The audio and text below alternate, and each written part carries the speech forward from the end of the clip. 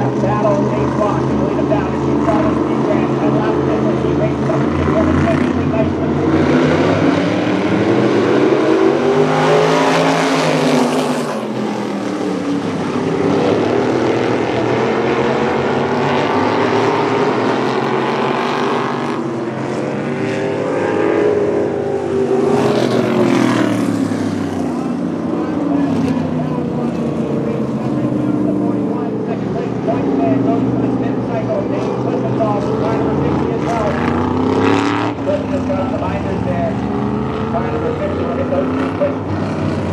Back underway, but Dow's gonna have to do his work from the tail of the field in car 41.